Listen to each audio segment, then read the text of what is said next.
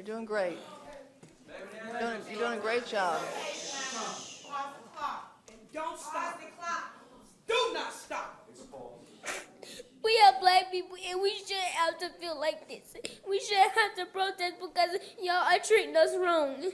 We do this because we need to and have rights.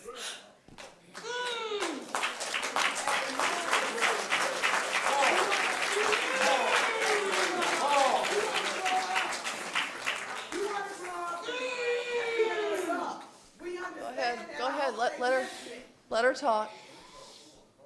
Go ahead. I've been born and raised in Charlotte. And I never felt this way till now.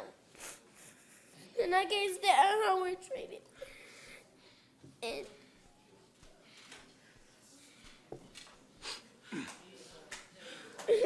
got- you a shame that our fathers and mothers are killed and we can't even see them anymore.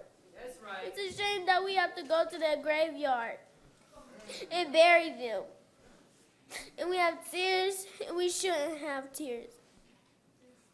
We need our fathers and mothers